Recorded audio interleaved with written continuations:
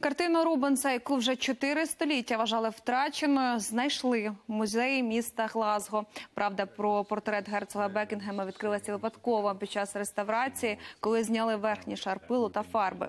Картина датована приблизно 1625 роком і, за словами мистецтвознавців, є важливим елементом у розумінні того, як митець прийшов до жанру портрета.